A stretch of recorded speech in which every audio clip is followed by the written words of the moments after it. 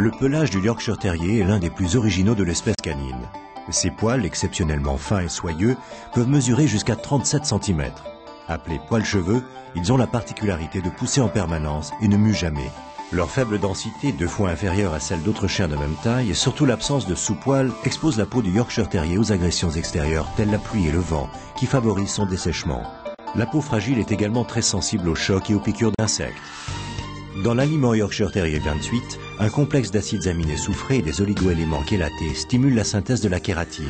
De l'huile de bourrache renforce la brillance naturelle du poil et de la biotine lutte contre la décoloration et l'alopécie.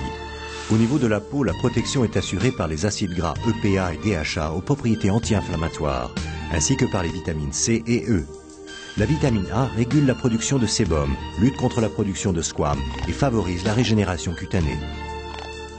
Yorkshire Terrier 28, la nutrition sur mesure pour le Yorkshire Terrier.